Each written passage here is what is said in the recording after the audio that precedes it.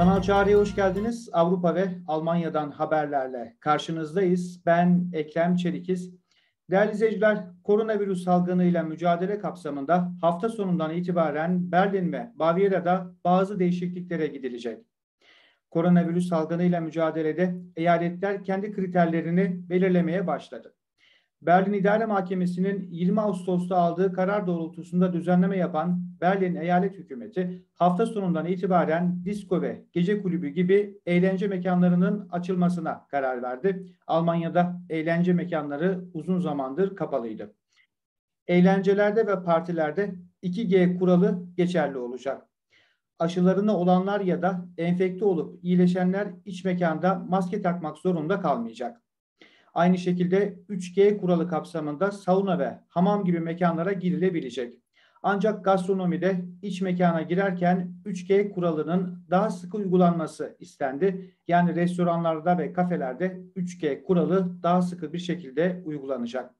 Bavyera'da da salgınla mücadelede yeni kararlar alındı. Bavyera Eyalet Başbakanı Markus Söder 18 aydır tedbirler için gerekli olan insidansın artık son bulduğunu açıkladı.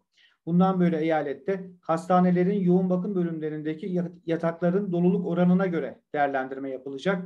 Daha önceden sadece insidans değerine bakılıyordu.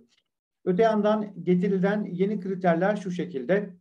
Yoğun bakımda yatan hasta sayısı bir haftada 600 olursa sarı alarm verilecek. Bu sayının 1200'ü bulması durumundaysa kırmızı alarm verilecek ve kısıtlamalar devreye girecek. Disko ve gece kulüpleri Ekim'den itibaren açılacak.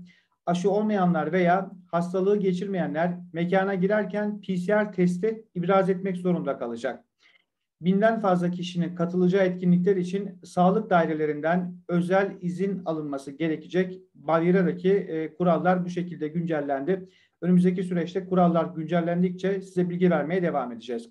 Değerli izleyiciler kanalımıza abone olmayı, sosyal medya hesaplarımızdan bizleri takip etmeyi unutmayın. Bir sonraki haberde görüşünceye kadar hoşçakalın.